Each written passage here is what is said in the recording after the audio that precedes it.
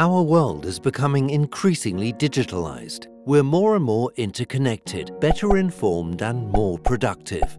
But as people progressively use digital technologies, they're increasingly subjected to digital stress, with negative health effects on our bodies and minds. Many factors can lead to digital stress. For instance, the constant overload with information, or the unreliability of digital technologies can cause frustration. The degree to which such situations are perceived as stressful depends on a person's abilities and experiences. What some regard as a challenge and can easily deal with may threaten others.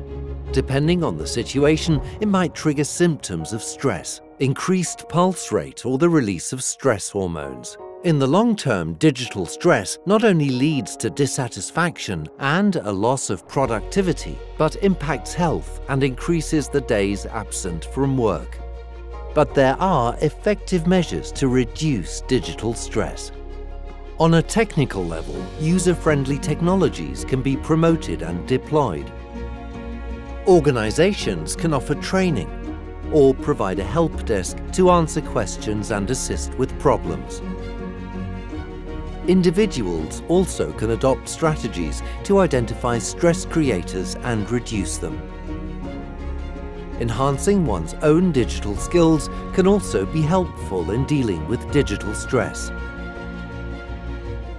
By conducting research into digital stress, we want to promote a more aware and healthier approach to digital technology and media on a collective as well as an individual level help us make our digital world a healthier place. Would you like to contribute to our discussion about digital stress or find out more about the topic? Then get in touch